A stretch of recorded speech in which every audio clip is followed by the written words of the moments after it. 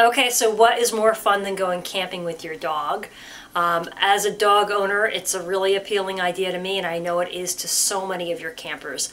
And part of that uh, is having a dog park at your camp. I think it's a great idea because, you know, we want you to have the six foot leash, non retractable, people walking around, etc. But we know that dogs need to get their yayas out. They want to play, they want to have fun, they want to have those goofy dog smiles on the dog's face. Happy dog, happy owner. Um, so you're going to put in a dog park. What should you do? First of all, you want to make sure that you have like a chain link fence that goes all the way around, four to six foot tall, and you want it to be double so that there's a spot where you walk in and then you can lock the door and then uh, unleash the dog and then open the door, the inner door, so they go into the main area.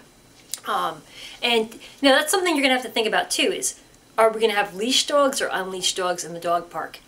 I gotta tell you, most of the parks I see, which are growing in popularity, it's all unleashed. It's all about having an unleashed space. But it is something that you want to establish. Um, and you want to think about uh, the location for your park too. Uh, should generally be away from your main camping area so that you know, it doesn't intrude on your ability to have peace and quiet at other sites.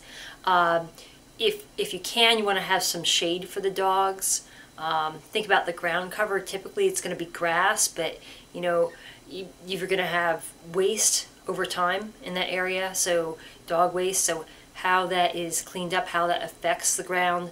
Um, you don't want to use harsh chemicals on the grass in there.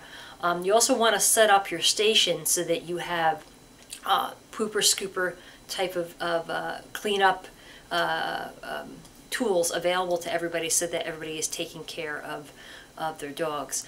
Now, the other thing to keep in mind, and I know that we hate to have a million signs um, up because you don't want it to look like a laundromat, you know, the typical laundromat, all these different signs, but having the dog rules posted outside a park, I think is really key.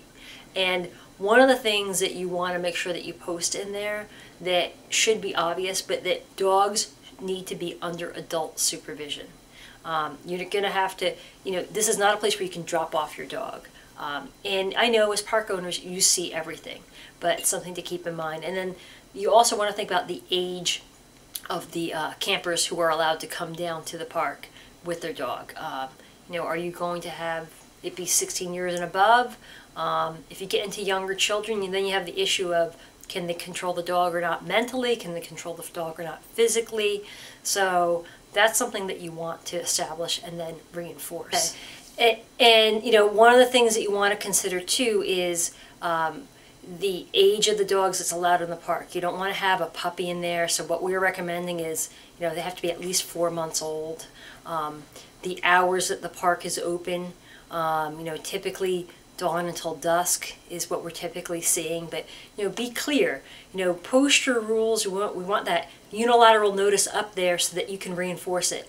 And it's also a really good idea to post the contact information uh, for emergencies. Uh, for the RV park so that it goes to a manager or the person in charge in case something does happen. Um, some other things to consider is uh, having water available for the dogs. I think that's a really good idea if at all possible having uh, just a hose that people can fill up little water bottles or bowls for the dogs. Um, adequate lighting if you're going to go um, beyond daylight hours that there's adequate lighting so that we don't get into a trip and fall type of, of situation. I mean these dog parks are, are growing to the point where they're almost um, you know, a majority of parks, and, and, people are really seeking them out, and I think it's a great thing to do.